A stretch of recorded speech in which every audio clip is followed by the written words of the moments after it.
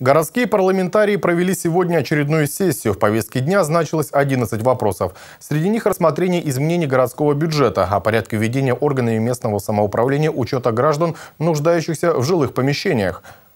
Муниципальный бюджет увеличен более чем на 20,5 миллионов рублей. Средства выделены из окружного бюджета в виде субсидий. Около 8,5 миллионов будут направлены на софинансирование содержания муниципального жилищного фонда. 10 миллионов рублей предназначены для завершения обустройства парка в районе поселка Лесозавод.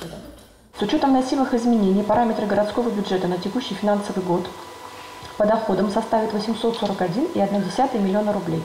Изменения по доходам предлагается произвести за счет – увеличение объема межбюджетных трансфертов из окружного бюджета на 20,3 миллиона рублей и включение в доходную часть бюджета объема безвозмездных поступлений от физических и юридических лиц на софинансирование мероприятий по реализации проектов поддержки местных инициатив в сумме 263,6 тысяч рублей.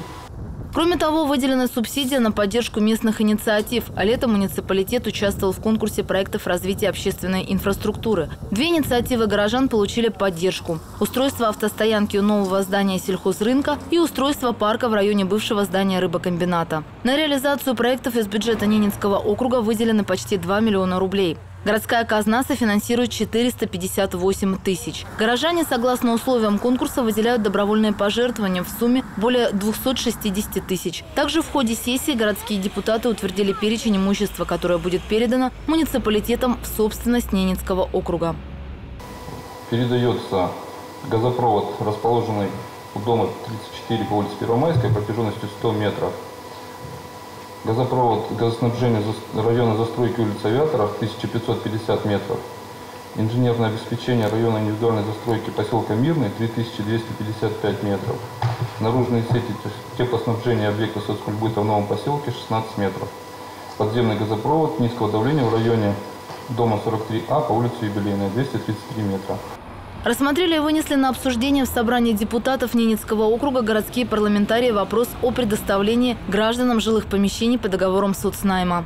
В случае смерти гражданина, состоящего на учете в качестве нуждающихся в жилых помещениях, предоставляемых по договорам социального найма, право на получение с учетом даты постановки на учет такого гражданина сохраняется за членами его семьи. В этом случае в целях последующего предоставления жилых помещений по договорам социального найма сохраняет право состоять на данном учете до получения ими жилых помещений по договорам социального найма или до снятия их с учета один из членов семьи такого гражданина, действующий на основании нотариально заверенной доверенности, выданной ему другими совершеннолетними членами семьи. А в заключении заседания обсудили и утвердили кандидатуры горожан, которые будут удостоены знака отличия за заслуги перед городом Нарьянмаром и почетной грамотой Совета городского округа. Ольга Русул, Дмитрий Лукевич, телеканал «Север».